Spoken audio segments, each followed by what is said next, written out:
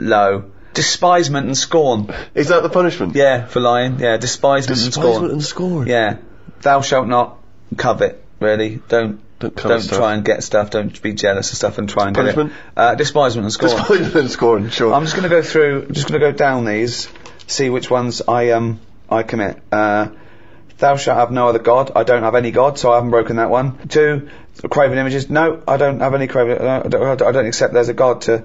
Uh, three, thou shalt not take the name of the Lord. I, again, I don't take his name in vain because I don't believe he exists, so I'm fine there. Uh, remember the Sabbath. I always remember Sunday. Um, I know I, I've got a calendar and everything, so I haven't done it that. Uh, honour thy father. Yeah, I do that. Uh, never commit adultery. Don't do that. Um, Ever killed anyone? No, never killed anyone. Don't steal. I don't lie, and I don't covet. So I am an amazing Christian. pretty clear. Yeah, you're a pretty clean living guy. Wow. There you go. Well, uh, whereas I don't know, what, Carl, have you ever? What's your view? You, I still um, still open like posts.